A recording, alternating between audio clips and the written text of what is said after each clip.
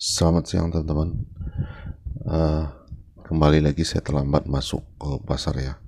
Sekarang sudah jam 9.12 saya baru mau login teman-teman bisa lihat sendiri. Dan uh, hal pertama yang saya lakukan adalah melihat saham yang saya beli di hari Jumat kemarin yaitu LAND atau LAN ya. Saya lihat sudah profit 5% saya langsung putuskan jual saja Kenapa? Karena saya tidak tahu oh, pergerakannya seperti apa pas jam pembukaan tadi. Apakah dia sudah loncat ke atas lalu turun lagi atau justru baru mau naik? Saya belum sempat lihat, tapi saya uh, langsung putuskan saja karena tidak mau mengambil risiko. Oke. Okay? Dan langkah kedua yang saya lakukan yaitu melihat watchlist yang saya susun kemarin, yang saya masukkan kemarin, yaitu yang kita lihat di Stockbit ya di Stockbit dengan me, uh, me, me, meniru saham bandar yang lagi diakumulasi dan tidak ada yang menarik menurut saya. Kemudian saya masuk ke tahap selanjutnya yaitu melihat di running trade teman-teman. Lagi-lagi di running trade tidak ada yang bagus ya, tidak ada yang menarik. Malah saya lihat pasar lagi sangat-sangat bobrok sekali merah semua ya. IISG juga sangat uh, turun dalam sekitar 0,9 persen dan yang ketiga saya masuk ke ranking teman-teman. Saya lihat uh, di situ uh, volumenya ya gainer dan volume ada WIN WinR ya WinR W uh, saya masuk di sini karena saya melihat volumenya bagus ya. Ini juga saham yang baru IPO ya saham induknya sudah arah karena biasa arah kalau di saham IPO perdagangan pertama. Tapi saya melihat yang menarik di sini Win RW nya warannya masih di 33 rupiah harganya ya. Biasanya kalau waran baru eh, dia sampai sampai 100 tapi saya eh, saya periksa di sini di sini masih ada bandarnya teman-teman ya. Ketika saya masuk ke halaman trading ini saya lihat masih ada bandarnya dengan melihat bid offer ini Kenapa saya tahu ada bandarnya? Karena uh, bisa dilihat dari susunan uh, bit itu teman-teman ya. Yang sebelum ini sudah kita bahas uh, banyak di video-video sebelumnya ya.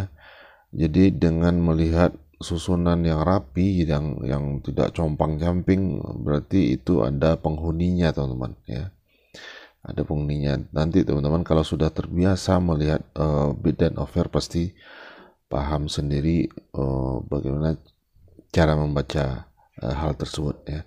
Oke sekarang saya fokus ke bid dan offer di waran uh, WinR ini ya. Teman-teman bisa lihat tadi di 33 itu sangat tebal di 400 ribu lot ya. Sementara uh, ada HK di 34 itu kita lihat apa reaksi bandar itu teman-teman. Ya apa reaksinya? Seketika dia mencabut lotnya ya yang di tiga tiga tadi malah hilang lot yang 400 ribu tadi harga dibawa turun ke bawah. Jadi hati-hati ya.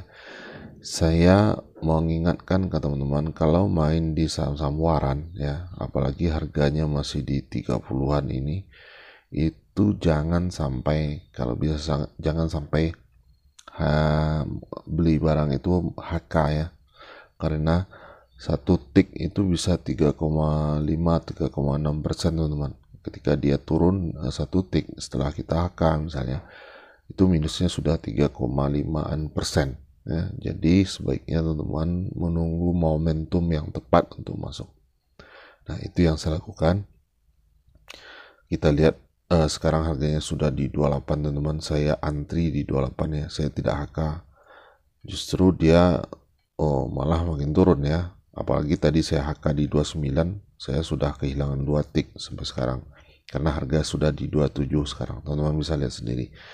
Itu uh, makanya uh, sangat hati-hati ya di harga-harga uh, murah ini ya. Jadi uh, kenapa saya masuk di WinR ya. Pertimbangan selanjutnya apa? Karena saya lihat tadi harga ini sudah sempat di 51 teman-teman bisa lihat sendiri ini ya. High itu sudah di 51 dan dia turun ke low ke harga 25 ya. Jadi 25 ke 28 itu baru sekitar 3 tik ada pantulan harga lagi ke atas. saya masuk di sini karena uh, sepertinya ini sudah uh, di, di dihuni lagi sudah mau dimasukin lagi sama bandar ya teman-teman bisa lihat lot itu sudah mau rapi kembali ya dari 23 ke atas itu sudah rapi lagi artinya bandar sudah masuk lagi di sini nah teman-teman bisa lihat kita masuk di harga 28 ya uh, nah ini dia yang saya maksud itu saya minus 3,6% ketika dia turun ke harga 27 ya. Jadi teman-teman hati-hati. Oke, nah sekarang uh, di jam 10.57 kita sudah uh, profit sekitar 7,5% meskipun itu baru naik 2 tik teman-teman.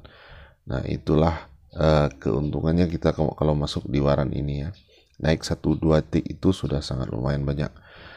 Tapi uh, jangan gegabah ya ada pertimbangan-pertimbangan lain kok di waran uh, ini ya uh, termasuk uh, waktu apa namanya uh, perdagangannya segala macam nanti boleh kita bahas juga waran ini buat teman-teman yang ingin mencoba ya. Tapi sekarang kita lihat saja tradingnya dulu. Nah di jam 11.29 hampir penutupan penutupan sesi per, pertama kita sudah cuan sekitar 14% teman-teman. Ya 14% dan uh, uh, apa namanya uh, di posisi induknya jadi di saham induknya itu sudah uh, dari tadi dikunci di posisi arah. Kita tidak tahu apakah nanti di sesi 2 dia akan terus lanjut ke atas atau justru turun. Yang pasti kes, uh, keputusan saya atau sikap saya adalah memasang uh, trailing stop apa namanya stop loss uh, pasang stop, stop loss dan biarkan dia berjalan sampai di mana nanti maksimalnya kita bisa ambil profitnya. Oke teman-teman sekian saja. Semoga bermanfaat